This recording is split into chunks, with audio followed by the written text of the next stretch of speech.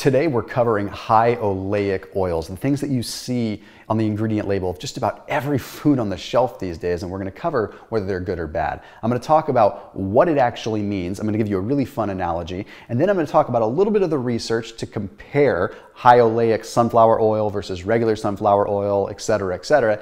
But then I'm gonna give you some practical solutions and things that you can take away from this video so that when you go into the grocery store, you can know what to look for on the label rather than just guessing. So this video is gonna be simple, it's gonna be relatively short, and we're gonna have some fun with it. Hey, I do wanna make sure that you hit that red subscribe button and hit the bell icon so you never miss our daily videos. Yes, daily videos. And then after this video, check out Thrive Market down below in the description. They're an online healthy grocery store. So I've been able to assemble different packages and things like that for my fans and my viewers to be able to embrace and get delivered to their doorstep in terms of groceries. So check them out, online membership-based grocery store, but they're down below in the description after you finish watching this video.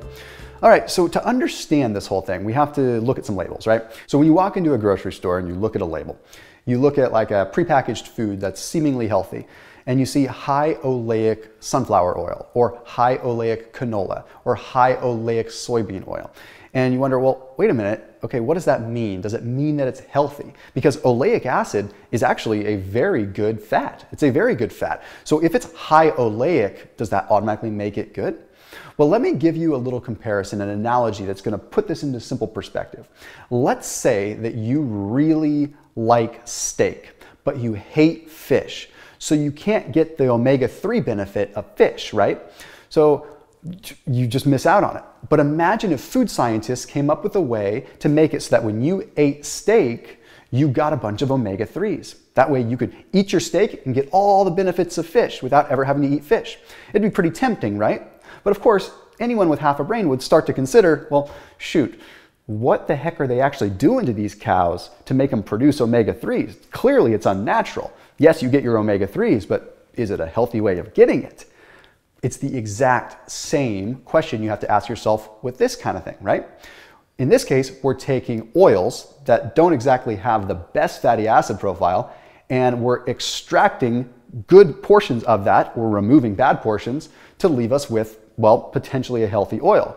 But in the process of doing that, it's been hybridized and potentially very, very, very scientifically modified with toxins and different chemicals and different heating processes. That's the whole idea behind high oleic fats, right? Now, the reason that this is occurring is to make products more shelf stable. And it makes perfect sense. And I actually commend society for going this way because the alternative is hydrogenated trans fats, right? So basically, what they're doing is they're taking an unstable fat and they're adding or removing the unstable portion, leaving the more stable portion.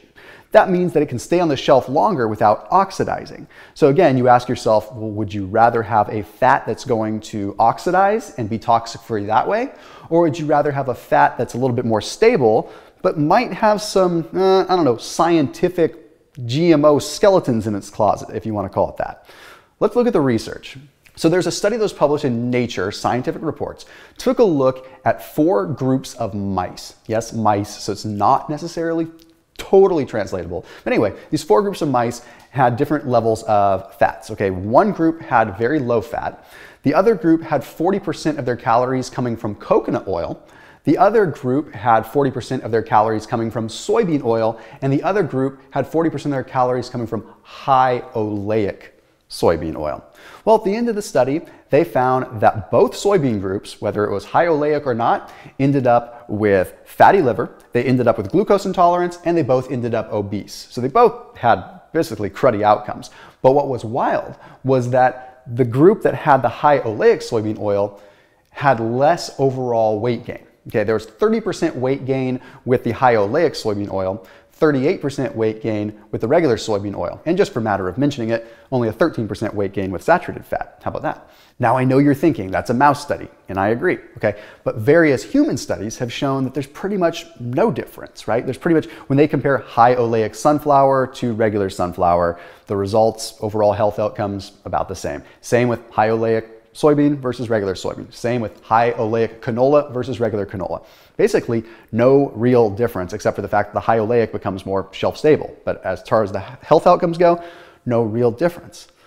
So then we have to ask ourselves the question, okay, well, what if we compare high oleic oils to oils that are naturally high in oleic acid. Okay, for example, olive oil is like over 70% oleic acid. So it's naturally a high oleic oil, right? The problem is, is it's expensive and you can't really use it to be shelf stable for a long period of time. Anyhow, the British Journal of Nutrition published that olive oil has much more health properties than high oleic sunflower oil did.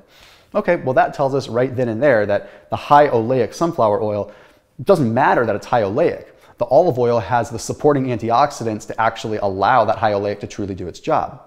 Now you might be wondering, is this video anti-oleic or is it pro-high oleic?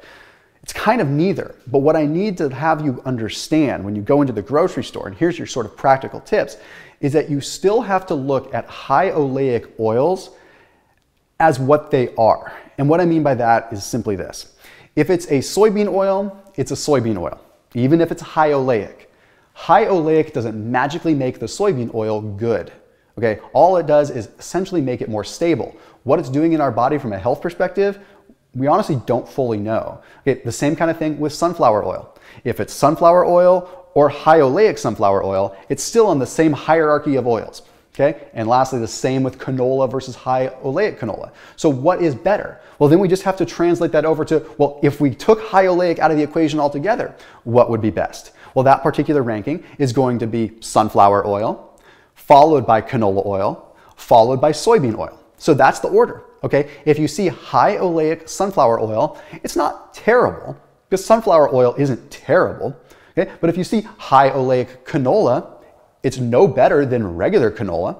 And if you see high oleic soybean oil, run for the hills because it's just as bad as regular soybean oil. Okay.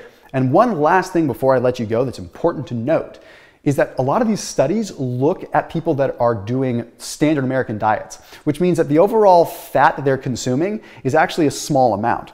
As you get to be on like a ketogenic diet or possibly just an even low carb, higher fat diet, this plays a bigger role because a larger portion of your overall calories is now coming from fat. So the potential drawbacks and potential benefits are much greater if you're on a low carb diet because your fat intake is so much higher. Your impact eating 40, 50% of your calories from fat is going to be much more powerful than someone that's getting 10% of their calories from fat. This is a simple volume game. Anyhow, make sure you keep it locked in and I'll see you tomorrow.